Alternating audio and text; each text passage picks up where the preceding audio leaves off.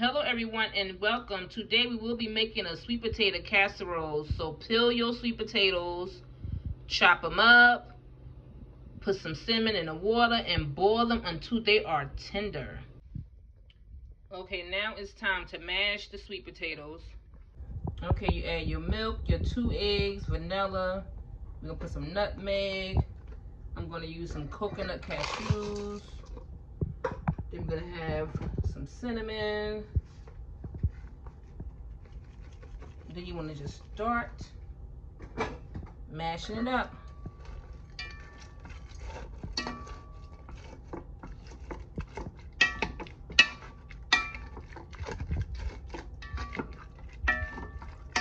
And mixing it together. Then we're gonna put it inside the oven.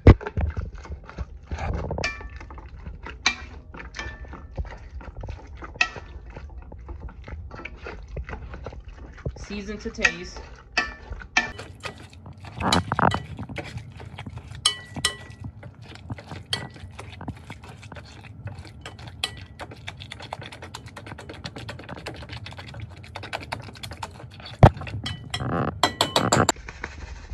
Make sure you add your sugar. I use coconut sugar.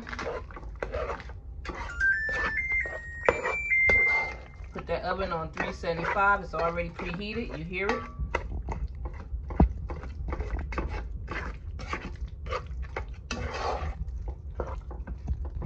Add you some butter as well.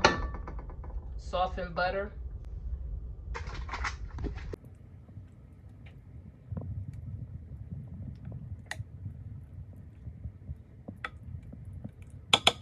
Then you want to put your marshmallows on it bake it.